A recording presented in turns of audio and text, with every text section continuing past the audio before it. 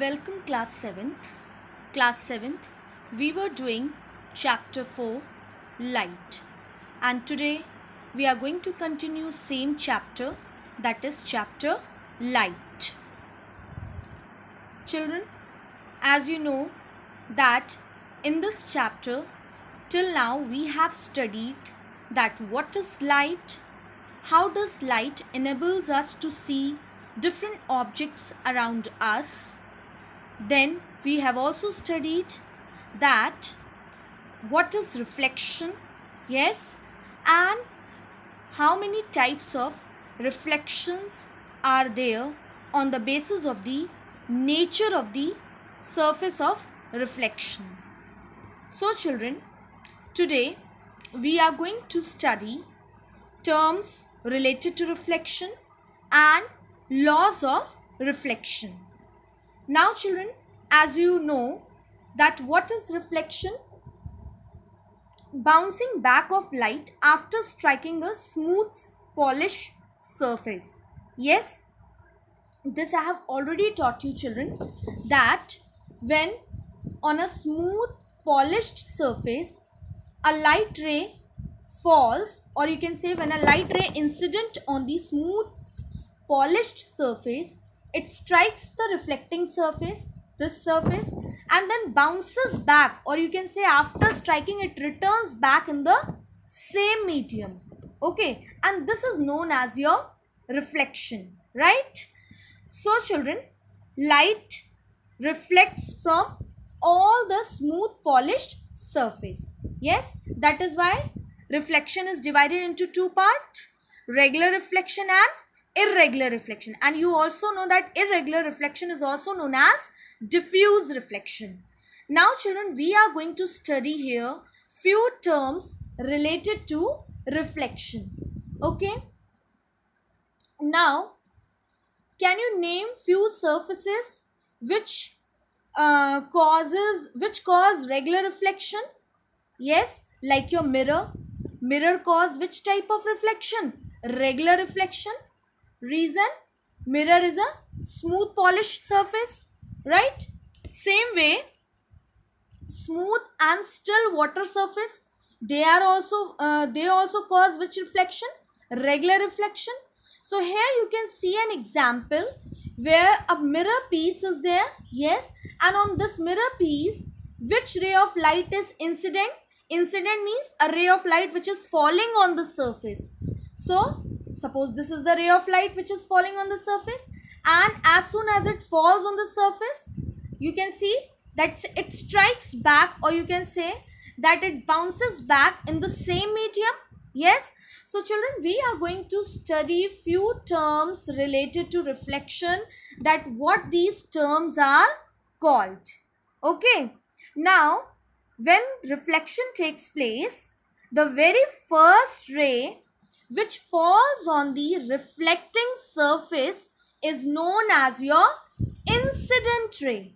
Okay, now before starting with incident ray, let me explain you what is reflecting surface. Reflecting surface, any surface which send back the light falling onto it into the same medium is called reflecting surface. Like your mirror is your reflecting surface because if any light falls on this mirror, it strikes back or you can say uh, when the light falls on this medium it bounces back the light again yes in the same medium. So this mirror is your reflecting surface because it causes reflection. It causes reflection. Okay. Now children the very first term which is related to reflection is your incident ray. What is incident ray the ray of light falling on the surface okay or you can say the ray of light falling on the reflecting surface. Now you can see you can see this arrow also. You can see this arrow? Yes? You can see this arrow? So this ray of light is falling on the surface? Yes? So whichever the ray of light which falls on any surface okay that ray of light is known as your incident ray. Do remember a ray of light falling on any surface is known as your which ray? Incident ray. Incident ray means the coming ray or the ray which falls on the surface. Okay, so this is your incident ray.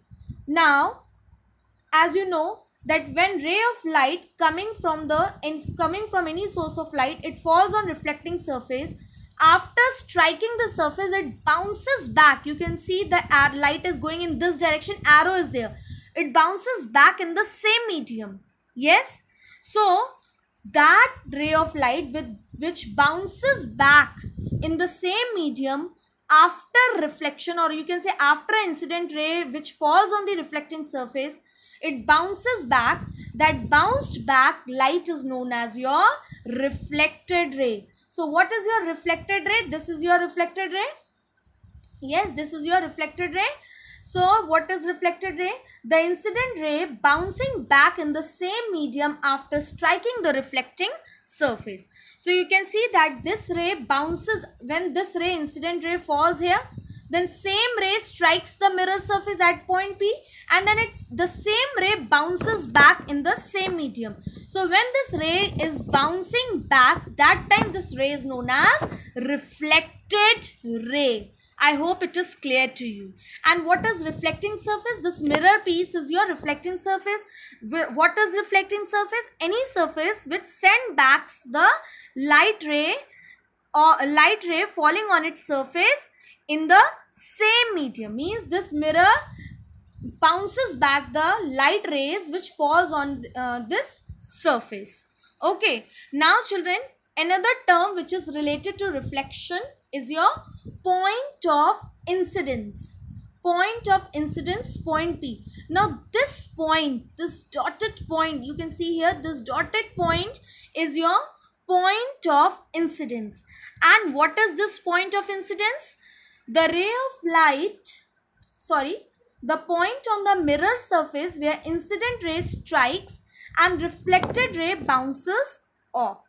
Now children, point of incidence is that point point of incidence this point P is that point where the incident ray strikes on the mirror. Strikes means it touches the mirror. Okay? Wherever the incident ray strikes on this mirror the point where the incident ray touches that mirror and from that same point it bounces back in the same medium that point is known as your point of incidence. You can see children here point P is your point of incidence. This dot one. Can you see I have made this dot? dot? So this dotted point is the point where the incident rays touches this mirror or you can say the incident ray falls on that point of incidence. And from that same point it gets bounces back. It again get bounces back or you can say it again returns back in the same medium. So point P is your point of incidence where the reflected ray, consider? Reflected ray comes when it touches the surface. So that point is known as your point of incidence uh, and from that same point the incident ray gets reflected back or you can say it bounces back. Okay, so this point is common, same point. Okay, now the normal ray it is a line drawn perpendicular to the reflecting surface at the point of incidence. Okay, now children, as you know, whenever we make perpendicular, we make like this. I don't know you know this or not, but one sleeping line and over that we make one standing line. This is the symbol for perpendicular that this line is perpendicular to this sleeping line means it is for perpendicular means it is forming 90 degree angle this side also it is forming 90 degree and this side also it is forming 90 degree angle.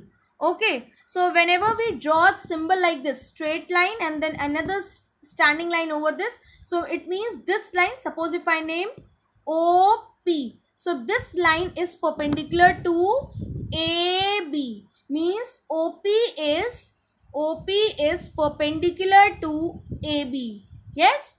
Perpendicular means this these two other rays here also 90 degree and this side also 90 degree.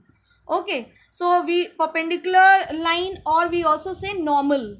Okay so this normal ray is a line drawn perpendicular to the reflecting surface at the point of incidence. Now children this normal ray is not actually there. We consider a, a normal ray as an imaginary line. Okay incident rays there reflected rays there but this normal ray we consider a imaginary line which is falling perpendicularly on the surface. You can say this is a sleeping line this mirror is the sleeping line and over this a normal for normal falls perpendicular to the surface.